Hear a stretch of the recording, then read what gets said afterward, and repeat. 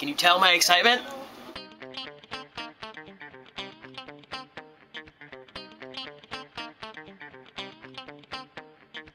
So today's session is about a year in the making. I initially wanted to do this session back in February of 2011, but I didn't anticipate how long it would take until we were ready to actually record the strings. And then in one of my brighter ideas, in May and June, I, I tried to recruit college students to record the parts to, as a way to save money. I, I contacted like five local colleges. I got like one taker. It was a it was pathetic. Measures 72 and 73. Um, for this next pass, don't go up the octave. Hope, uh, I'm thinking that'll give it a little bit more body. Okay. So thank you. Rock. The arrangements were done by Brian Zeller, who is the keyboardist and trombone player for Perfect Thyroid and The Big Shoe.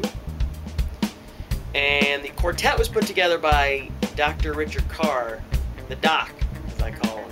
Hey, Doc. And Doc, in the violin one and measure. How do you feel about the trill? I like it. Take take the grace notes out. Alright, oh.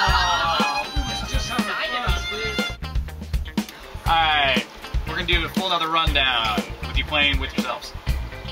Measure 28.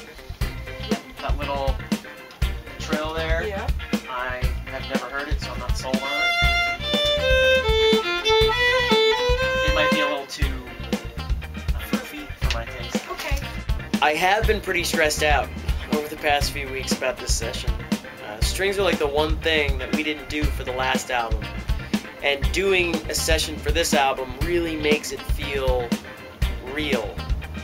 Like if I wasn't in it before, I'm in it now, and it needs to be done right, and it needs to be done well, and I've been putting a lot of pressure on myself.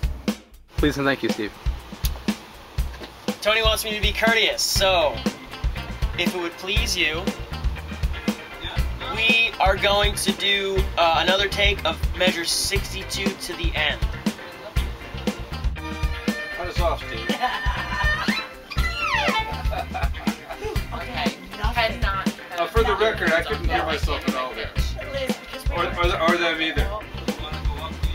I do.